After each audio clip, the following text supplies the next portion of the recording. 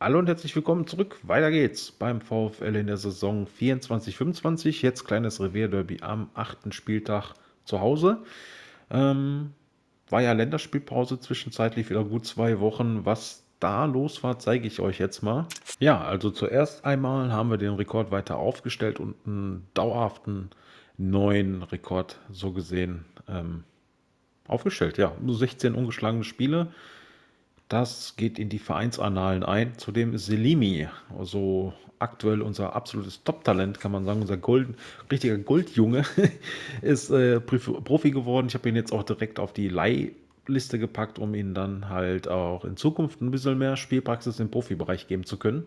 Batista Meyer, ähm, nach längerer Zeit mal wieder ein Spieler in der Elf der Woche, diesmal halt Batista Meyer mit dem Doppelpack. War ja insgesamt ein Spiel, wo ich auch äh, ja, fünf Jahre gealtert bin, locker Reserveergebnis gibt es natürlich auch wieder. Äh, Bochum hat das neunte Spiel in Folge gewonnen. 2 zu 0 gegen die Rostocker Reserve und Ferrei hat die ersten Spielminuten gesammelt. Torschützen waren hier Jürgen Bayer und Philipp Förster. Ähm, ja, also wieder verstärkt durch Profis, die halt hier dann dementsprechend Spielpraxis sammeln sollen. Des Weiteren habe ich bei, bei dem Thema machen wir direkt weiter. Spielpraxis habe ich die zweite Garde so gesehen, dann auch nochmal genommen und habe die ein Testspiel absolvieren lassen. So Breithaupt, Ramirez etc. waren da so involviert und äh, überwiegend im Einsatz. Ja, wie ihr sehen könnt, 3-0 gewonnen. Ja, und das war's auch schon. Gucken wir uns mal den FC Schalke etwas genauer an. Und zwar ähm, fangen wir bei den Transferaktivitäten an, haben ein Plus gemacht.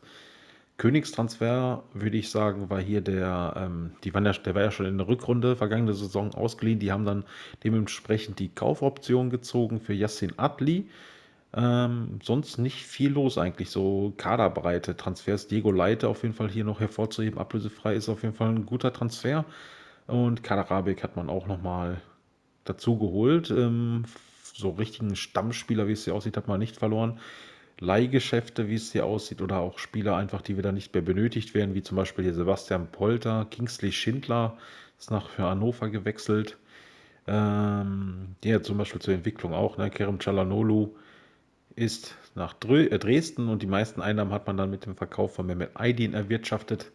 2,1 fest und 2,8 kann es noch werden.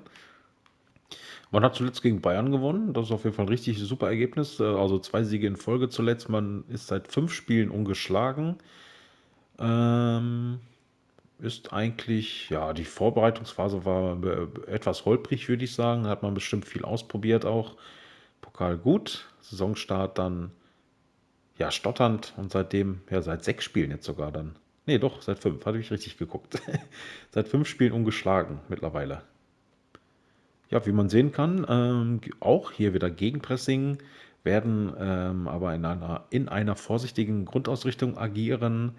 Im Sturm, pressende Stürmer, wird Keke top auflaufen. Also geht man mal von aus, erwartete Taktik und auf Startformation. Der hat bisher nur Einwechslungen. Ja, also der wurde bisher nur eingewechselt halt. Ne? Zwei Scorer-Punkte bekommt jetzt mal einen Startelf-Einsatz den Flügeln Salazar, Salazar und Bülter, inversive Außenstimmer, die werden dann halt dementsprechend, gehe ich mal von aus, also zumindest links ähm, nach innen ziehen. Hier Flügelverteidiger Kolocicak, der wird es garantiert dann über die Flügel machen, das Spiel aufbauen und halt mit Flügeln versorgen. Dann sehen wir dann hier, Leite ist direkt gesetzt in der Abwehr, also zumindest in diesem Spiel. Kraus, Segundo Valenta, also der zurückgezogene Spielmacher, so gesehen, die nochmal Variante, äh, defensivere Variante spielen wir selber zwischenzeitlich.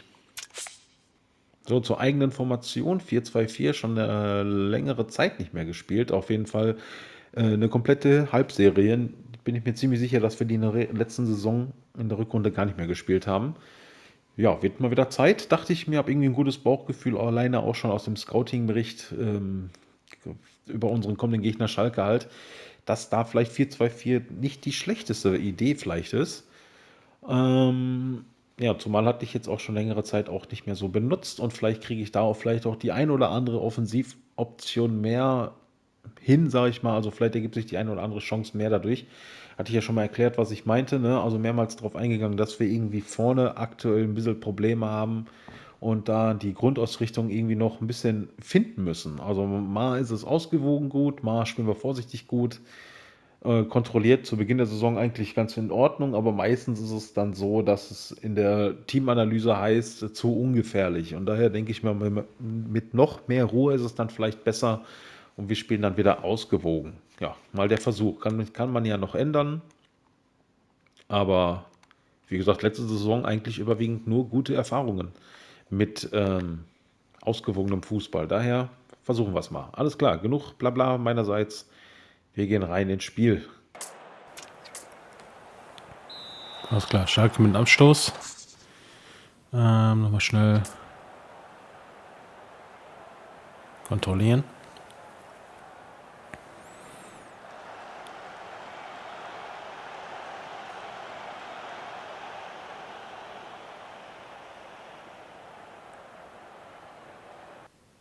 Leichte Vorteile zu Beginn bei Schalke. Super, Breithaupt erstmal verletzt. Ja, guter Start. Mit der Cora rein.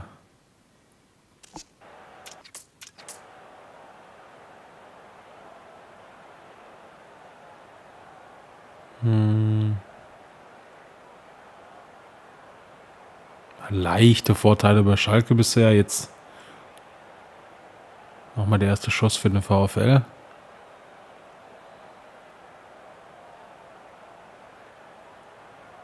Ja, jetzt mal. Hoffe ich zumindest. Langer Ball raus. Asano. Planke kommt nicht an. Mikkelsen. Asano. Ja, stehen gut die Schalker. Auf jeden Fall dicht gestaffelt da.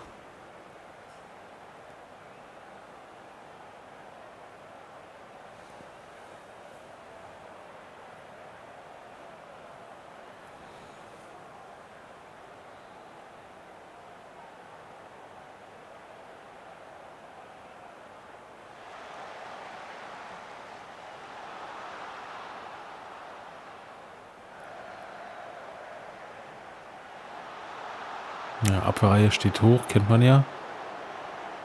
Also relativ, aber bisher stehen wir gut. Ähnliches Bild wie gerade auch Probleme für Schalke, da Anspielstationen zu finden.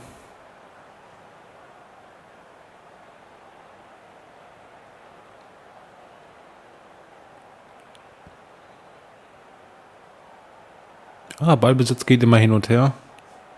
Hat halt seine Phasen, ne?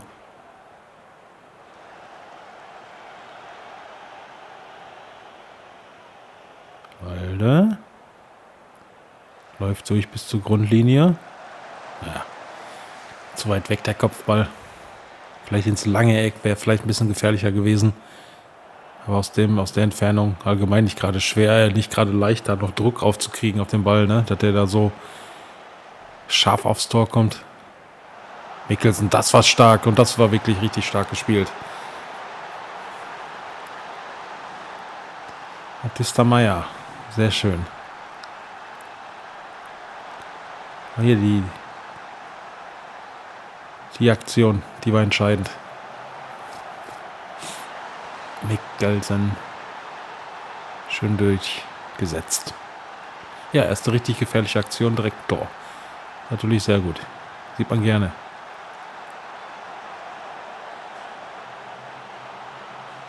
Und vor allem ist der Plan dann bisher schon mal aufgegangen mit dem Stoßstürmer.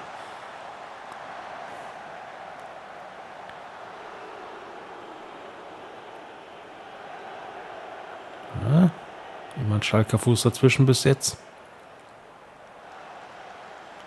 Also fast immer.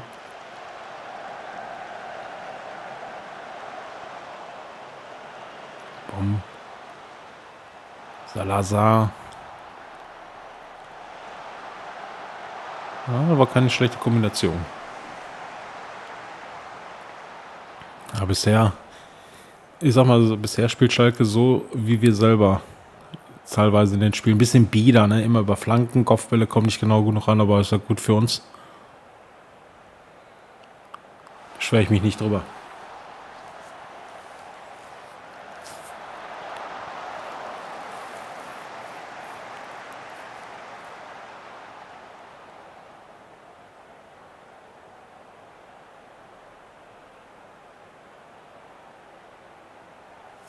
Ja, bisher auf jeden Fall ein CS-Duell. Jerkin Gilb. CS-Duell auf jeden Fall. Eine gute Aktion hat gereicht, aber naja, ob das 4-2-4 jetzt noch äh, längere Zeit eine Zukunft hat, ich weiß nicht. Also von den Daten her sieht man es ja, wir sind eigentlich an und für sich etwas stärker. Schalke mit einem Schuss aufs Tor. Passquote und so weiter, wie man hier sehen kann, geht. Wieder im Angriff sind wir nicht so gut. 70 Prozent nur könnte besser sein. Naja, aber andererseits ist auch immer die Sache, wie Schalke steht, ne? wie dicht gestaffelt, dann findet da mal eine Anspielstation. Hm. Nee. Der Pressing-Situation. Ja, noch Kraus war ja bisher relativ auffällig, da bin ich jetzt mal ein bisschen mehr drauf. Könnte schon so sein, dass er die Rolle von Register spielt oder so, ne? So in der Richtung.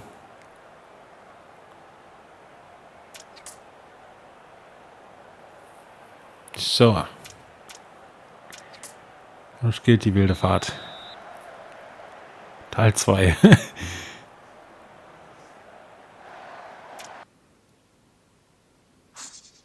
genau, Cherkin hatte ich vergessen mit dem Ball. Äh, Zweikämpfe.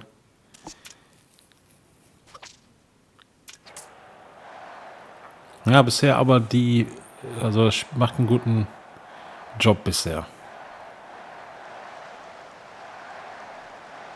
Die Saison ist zwar noch früh, aber na, macht er ganz gut. Dafür das macht genau die Sachen, die ich mir vorgestellt habe. Wofür er eingeplant war. Ah, schön. Wieder Mikkelsen. An die Latte, was ein Ding. Ja, starkes, starkes Stick, äh, Dinge, ne? Könnte echt eine Alternative vielleicht doch nochmal werden für den Sturm, obwohl ich da eigentlich echt überzeugt war, dass das ein kompletter links, linker Flügelspieler ist. Oh, Batista Meyer stark.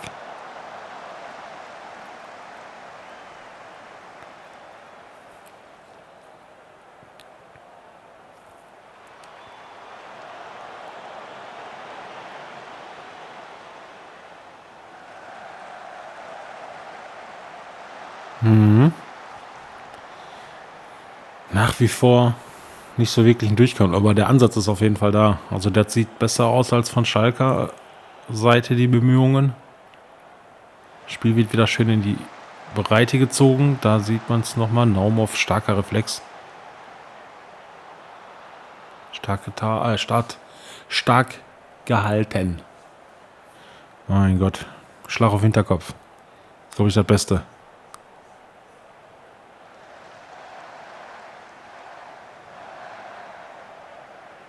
Oh, Batista Meyer.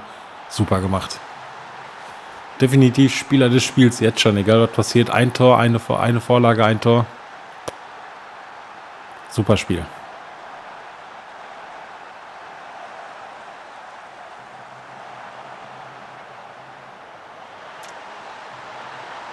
Ach, Doppelpack, was erzähle ich denn da? Doppelpacker Batista Meyer.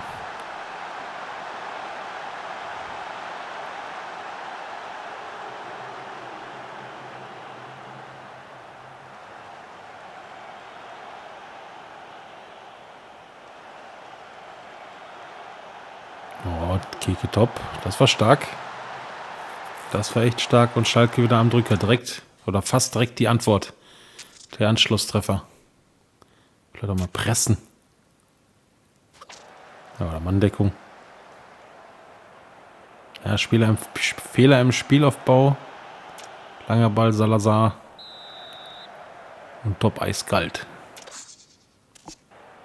Direkte Antwort.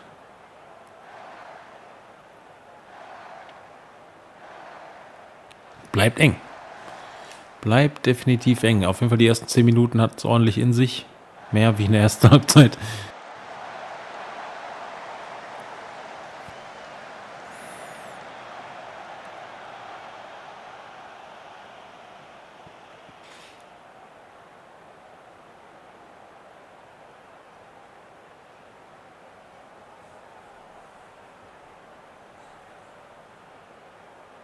Ja.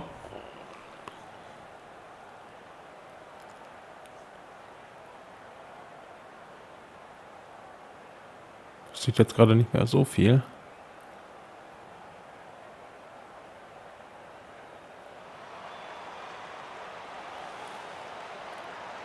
Oh, stark. Stark gehalten.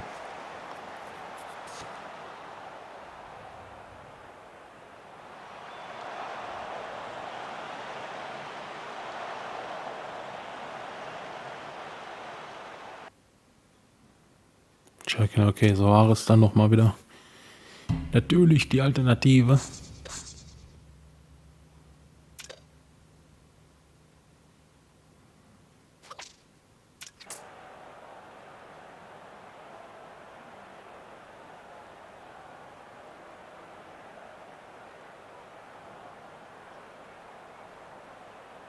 Ja, aber jetzt insgesamt so jetzt alleine vom XG-Wert her wäre es ein äh, schon verdienter Sieg. Knappe 20 Minuten jetzt noch. Großzügig aufgerundet.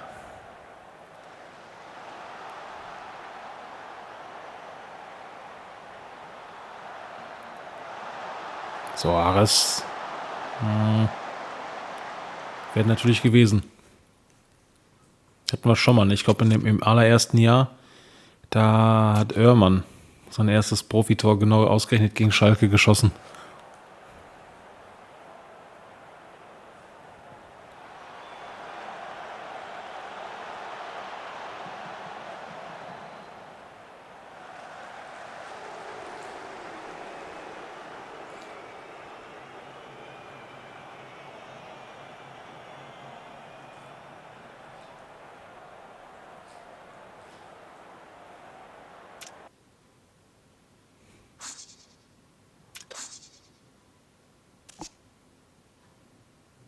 Also nochmal Kader für Asano.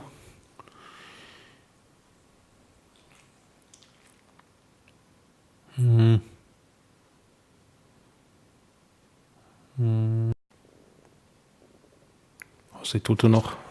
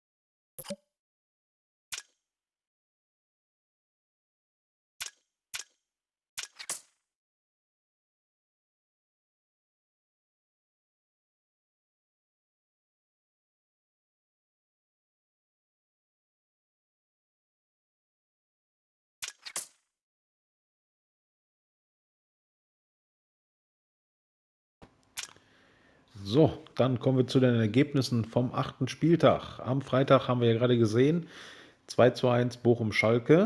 Dann samstags die Ergebnisse Köln-Hertha trennen sich 2 zu 2 unentschieden. Augsburg verliert zu Hause 2-0 gegen Wolfsburg. Mainz, Hannover 2 zu 0. Ähm, Werder Bremen-Eintracht 0-0. Oh, hier, hier, ordentlich rote Karten dabei. Ähm, Stuttgart-Leipzig 2 zu 2. Der Tabellenführer patzt. Und Bayern, alter Schwede, ein ordentlicher Befreiungsschlag 6 zu 0 gegen Leverkusen. Da hat es ordentlich gescheppert. Und am Sonntag verliert Hoffenheim zu Hause gegen Gladbach 1 zu 3 und Dortmund gewinnt und macht sich, äh, verschafft sich auch etwas Luft, ne? Auf, mit Blick nach unten und knüpfen an, nach oben, so gesehen. 3 zu 1 Sieg gegen Freiburg. Dadurch haben wir dann die Tabelle. Folgendes Bild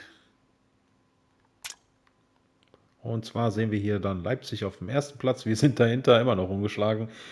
Hatte ich ja schon ein paar Mal gesagt, ich bleibe dabei. Es ist einfach nur gruselig. Wir haben fünf Punkte Vorsprung vor Bayern, aber das ist auch nur eine, glaube ich, eine Momentaufnahme. Da wird sich noch ordentlich ändern. Ich glaube, die Tabelle wird noch ordentlich durchgewürfelt werden.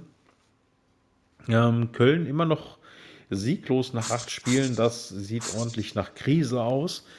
Werder so langsam ähm, ja, kommt dahin, wo man Aufsteiger eigentlich einpendelt. Meistens im Abstiegskampf sagt man immer wieder. Ne? Augsburg hingegen na, mit 14 Punkten, Bären stark als Aufsteiger, vierter Platz. So langsam kommt der Reality-Check, sag ich mal, jetzt zwei Niederlagen in Folge. Aber nichtsdestotrotz super. Ne? Also äh, da kannst du echt nicht meckern als Aufsteiger. 14 Punkte nach acht Spielen. Mittelfeld ist echt prominent besetzt mit Leverkusen, Bayern, Dortmund, Hertha, Stuttgart, also die ganzen ähm, Top-Mannschaften oder Mannschaften, die das Potenzial dazu haben, also von den Mitteln her, gerade Hertha, die haben ja echt finanzielle Mittel, ist ja nicht hier so wie eine Realität, dass die da, äh, ja, dass das einfach ein Chaos-Club ist. Ne? Hier haben die echt die finanziellen Mittel die von Jahr zu Jahr und ja, machen nichts draus aktuell. Vielleicht in, diesen, in dieser Saison gar. Naja, gut. Dann will ich mal mit meinen Weisheiten jetzt hier aufhören. Wünsche euch noch einen schönen Tag oder Abend und bedanke mich auf jeden Fall auch für die Unterstützung. Tschüss, bis dann.